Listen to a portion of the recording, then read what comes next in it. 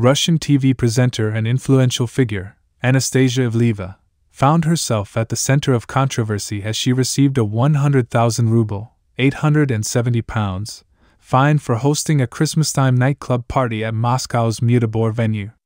The event, boasting an almost naked dress code, faced severe criticism against the backdrop of Russia's current wartime situation and economic challenges. The fallout extended to rapper Vacio, also known as Nikolai Vasilyev, who was spotted with only a sock covering his modesty during the event. His punishment included a 15 day jail term and a 200,000 ruble fine.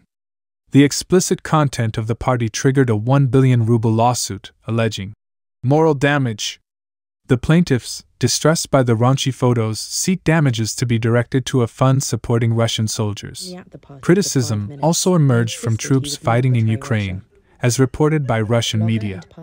Beyond the legal consequences, the public's discontent is palpable, particularly among citizens grappling with the economic challenges posed by wartime conditions.